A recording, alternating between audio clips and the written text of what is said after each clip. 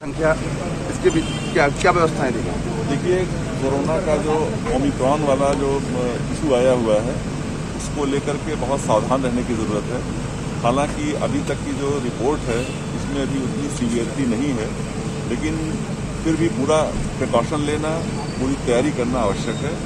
और इसीलिए आज हम लोग यहाँ पर इसका निरीक्षण कर रहे हैं कि हमारी अगर कोई इमरजेंसी आती है तो हमारी तैयारियाँ क्या हैं? तो ऑक्सीजन प्लांट है स्टोरेज प्लांट है मैनी फोल्ड है बेड तक जो ऑक्सीजन की सप्लाई है, वो हो रही है कि नहीं हो रही है? इसके अलावा यहाँ दवाइयों की उपलब्धता है या नहीं? ये सब चीज़ों का हम लोगों ने यहाँ निरीक्षण किया है। और दूसरा ये कि इस समय जो कोरोना से बचाव का सबसे कारगर उपाय है, वो है आपका टीकाकरण।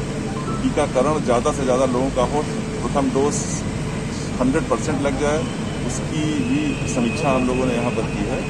और दूसरा जो कोविड अप्रोप्रिएट बिहेवियर है उसके लिए भी निर्देश दिए गए हैं कि इसको हम प्रिकॉशन लेकर के भी कोरोना से तरह से निपट सकते हैं। इन सबको देखने के लिए व्यवस्थाएँ सुनिश्चित करने के लिए अगर कहीं कोई कमियाँ हैं उसको दूर करने के लिए ये विज़िट यहाँ की गई है।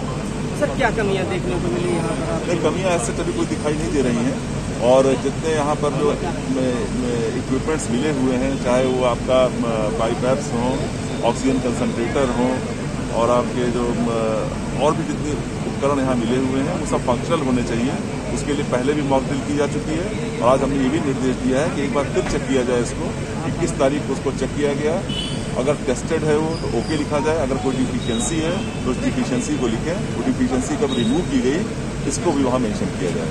ताकि किसी भी इमरजेंसी के आने पर कोई टेक्निकल फेल्योर ना हो और जो भी कोई मरीज़ यहाँ आवे उसको पूरी सुविधा मिल सके। सर यहाँ पर व्यवस्थाएँ पूरी तरह से संतुष्ट हाँ व्यवस्था व्यवस्थाओं से हम पूरी तरह से संतुष्ट हैं और ये सतत प्रक्रिया है।